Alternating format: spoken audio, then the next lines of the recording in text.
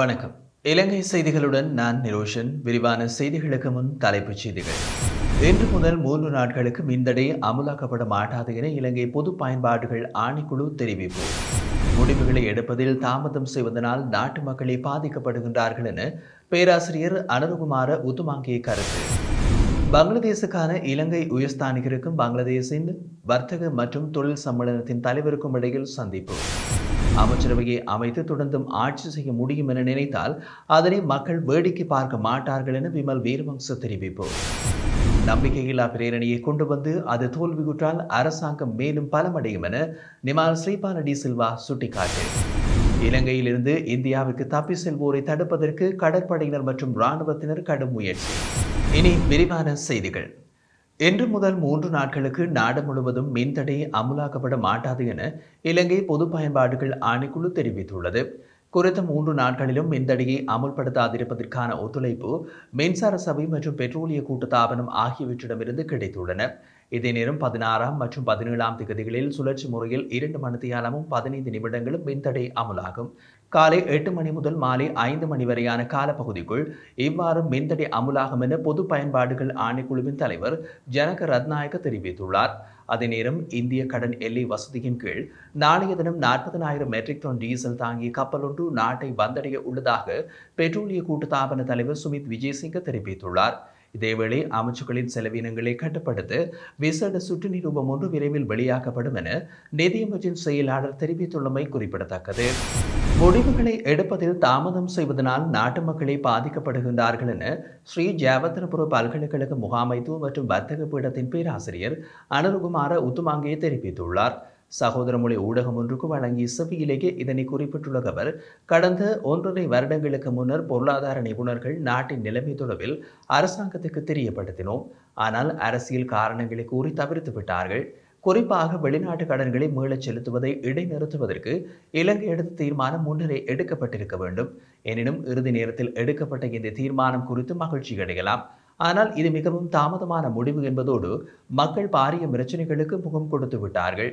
அதே நேரம் மருந்துகள் இல்லாத கடும் நெருக்கடியினை சந்தித்து வரும் நிலையிலும் மேலும் பல நெருக்கடிகளுக்கு முகம் கொடுக்க நேரிடும் என அவர் எச்சரிக்கை விடுத்துள்ளார். இதேவேளை முன்னதாக இலங்கைக்கான வெளிநாட்டு கடன்களை செலுத்துவதை இடைநிறுத்துவதற்கு இலங்கை மத்திய வங்கி தீர்மானித்துள்ளதாக மத்திய வங்கியின் ஆளுநர் கலாநிதி நந்தலால் வீரசிங்க தெரிவித்திருந்தமை குறிப்பிடத்தக்கது. பங்களாதேசுக்கான இலங்கை உயர்ஸ்தானிகர் பேராசிரியர் சுதர்சன செனவரத்னவுக்கும் பங்களாதேஷின் வர்த்தக மற்றும் தொழில் சம்மேளனத்தின் தலைவர் யாஷிம் உடீனுக்கும் இடையிலான சந்திப்பொன்று இடம்பெற்றுள்ளது. இதன்போது இரு நாடுகளின் ஏற்றுமதிகளை வகைப்படுத்துவதன் அவசியம் குறித்தும் தற்போது பேச்சுவார்த்தையில் உள்ள உத்தேச முன்னுரிமை வர்த்தக ஒப்பந்தத்தை இறுதி செய்வதன் அவசியம் தொடர்பிலும் கலந்துரையாடப்பட்டுள்ளது. இதன்படி வர்த்தகம் சுற்றுலா கப்பல் போக்குவரத்து எரிசக்தி முதலீடு விவசாயம் சுகாதாரம் மற்றும் கல்வி ஆகியவற்றை துறைகளில் ஒத்துழைப்பை வலுப்படுத்துவதற்கான சாத்தியக்கூறுகள் குறித்தும் பொருளாதார ஒத்துழைப்பில் ஈடுபடுமாறு அந்த சம்மேளனத்திடம் கேட்டுக்கொண்டார் குறித்த ஒப்பந்தத்தின் மூலம் நாடுகளுக்கு இடையிலான பொருளாதார ஒத்துழைப்பை மேலும் பலப்படுத்த முடியும் என்று பங்களாதேஷ் வர்த்தக மற்றும் தொழில் கூட்டமைப்பு தலைவர் தெரிவித்தார். இலங்கையுடனான பொருளாதார ஒத்துழைப்பை வலுப்படுத்துவதற்கு பங்களாதேஷ் வர்த்தக மற்றும் கைத்தொழில் சம்மேளனத்தின் ஒத்துழைப்பை வழங்குவதற்கு தயாராக உள்ளதாகவும் அவர் குறிப்பிட்டுள்ளார். புதிய ஆட்சி கட்டமைப்பு ஒன்றை உருவாக்க அரசாங்கம் இடமளிக்க வேண்டும். மாறாக அமைச்சரவையை அமைத்து தொடர்ந்தும் ஆட்சி செய்ய முடியும் என அரசாங்கம் நினைத்தால் அதனை மக்கள் வேடிக்கை பார்க்க மாட்டார்கள் என தேசிய சுதந்திர முன்னணியின் தலைவர் விமல் வீரவம்ச தெரிவித்துள்ளார். கொழும்பில் நேற்றிரவு ஊடகங்களிடம் அவர் இதனை தெரிவித்துள்ளார்.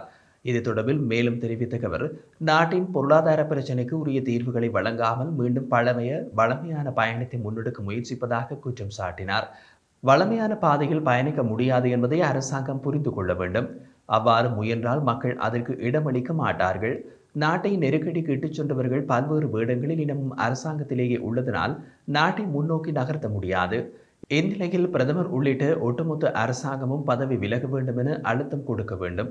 நாடு சரிவில் இருக்கும்போது அமைச்சு பதவிகளுக்கு ஆசைப்படுவோரை மக்கள் பார்த்துக் கொள்வார்கள். அவ்வாறான நபர்கள் இந்த நாட்டின் ஜனநாயக அரசியலில் இருக்க தகுதியற்றவர்கள் என்றார். இதேவேளை சில வேளைகளில் பசில் ராஜபக்ச மறைத்து வைத்த பணத்தை கொண்டு நாடாளுமன்ற உறுப்பினர்களை விலைக்கு வாங்க முயற்சிக்கலாம் எனவும் அவர் தெரிவித்துள்ளார். ஜனாதிபதி பிரதமர் உள்ளிட்ட அரசாங்கம் மக்களின் கோரிக்கைகளுக்கு செவிசாய்த்து பொருளாதார நெருக்கடியை தீர்க்கும் நம்பிக்கை கூட்டும் வேலை திட்டத்தை உருவாக்க வேண்டும் என கொழும்பு இளம் பௌத்த சங்கம் தெரிவித்துள்ளது.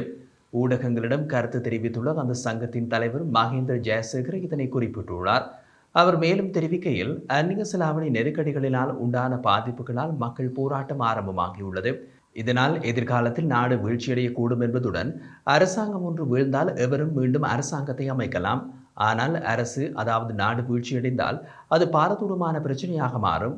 அப்போது மக்கள் போராட்டம் மேலும் அதிகரிக்க வாய்ப்பு உள்ளது என்றார். இந்த நிலையில் ஜனாதிபதி பிரதமர் மற்றும் நாட்டிற்கு பொறுப்பு கூற வேண்டிய அரசியல் கட்சிகள் இந்த சந்தர்ப்பத்தில் இணைந்து நாட்டை காப்பாற்ற வேலை திட்டத்தை உருவாக்கி நடைமுறைப்படுத்த வேண்டும் என கூறியுள்ளார். இதேவேளை காலை முகத்திடலில் ஆர்ப்பாட்டத்தில் ஈடுபட்டுள்ளவர்களுக்கு பிரதமர் மஹிந்த ராஜபக்ச விசேட அழைப்பு கொண்டு விடுத்துள்ளார்.